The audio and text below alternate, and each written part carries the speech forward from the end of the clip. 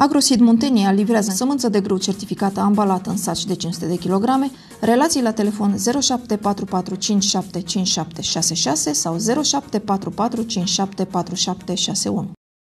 Liceele la care niciun elev nu a luat bacalaureatul în sesiunea de vară 2019 nu vor putea trimite anul acesta la minister propuneri pentru cifra de școlarizare pentru clasa a noua. Este pentru prima dată în ultimii ani când performanța de la examenul național este legată de înființarea claselor de liceu. La nivelul județului Călăraș sunt trei licee care nu vor avea posibilitatea înființării claselor a noua. Acestea sunt Liceul Tehnologic Dan Mateescu din Călăraș, cu promovabilitate 0 la examenul de bacalaureat, Liceul Tehnologic Duiu Zanfirescu din Dragalina, la fel, cu promovabilitate 0 la examenul de bacalaureat, și Liceul Tehnologic din Borcea, cu un singur candidat promovat la bacalaureat. Trebuie precizat faptul că prin noul ordin de ministru, e vorba de ordinul 5090 din 30 august 2009, privind uh, aprobarea metodologiei uh, de fundamentare a cifrei de școlarizare pentru anul școlar 2020 2021. Uh, la articolul 9 se prevede faptul că școlile, liceele care pot să propună pentru planul de școlarizare 2020-2021 Uh, clase de-a noua sunt cele care, la sesiunea de bacalaureat din uh, iunie-iulie 2019, uh, da, au, au avut promovare și în cazul școlii liceelor în care procentul de promovare a fost 0% sau cel puțin un singur elev, acestea nu mai primesc aprobare pentru a-și adăuga în oferta educațională clase de liceu, clasa 9. Avem la nivel de județ licee cu promovabilitate zero sau care au avut cel puțin un absolvent? Da, din păcate avem și uh, aș putea să spun că înregistrăm în ultimii ani uh, cel puțin un liceu, două licee care nu reușesc să aibă niciun elev promovat la examenul de bacalaureat.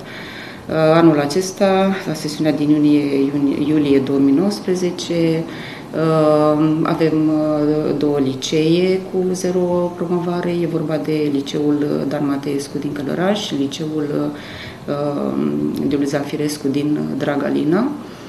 Și mai avem liceul, de, liceul tehnologic Borcea, la care au un singur elev promovat dacă la sesiunea din vara anului viitor vor exista totuși elevi care vor absolvi examenul de bacalaureat la aceste licee, uh, va exista posibilitatea reînființării claselor a nouă?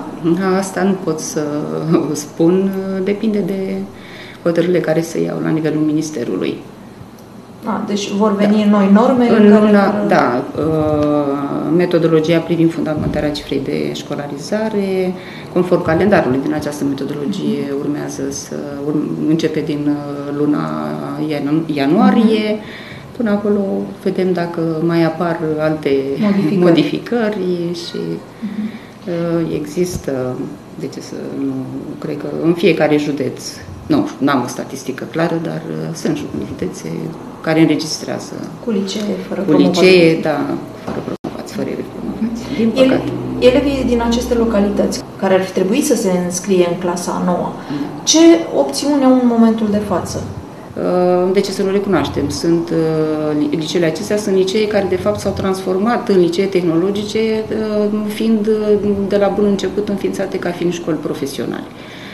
Ori e adevărat că unele oferă posibilitatea elevilor din comunitatea respectivă de a-și continua studiile uh, liceale, ca să zic așa, în domiciliul copil, la domiciliul copiilor, dar, uh, din păcate, rezultatele sunt slabe, an de an nu reușesc să ridice, să aibă cel puțin peste 10%. Aceste licee au deja înființate clase pentru profilul profesional, pentru școlile da, profesionale? Da, au clase de profil profesional. Toate specializările din licee trebuie să înțeleagă toți că uh, școlarizarea pe o anumită specializare se poate face pe traseu liceu sau pe traseu școală profesională. Uh-huh. Un absolvent de școală profesională, după cei trei ani de școală profesională, iese cu calificare nivel 3 și poate să-și continue specializarea în același domeniu, mergând la cursurile serale cursurile de seral. Astfel avem posibilitatea să deci, între obțină liceu, și sigur, diploma deci de bacalaureat. Sigur că da. Deci pe traseul școală profesională liceu seral mai fac încă un an de școală, să zic așa, în loc de patru ani, cinci ani de școală. Și ies cu aceeași calificare.